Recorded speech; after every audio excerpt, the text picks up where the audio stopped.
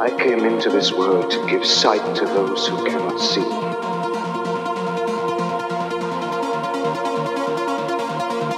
And to take away sight from those who can.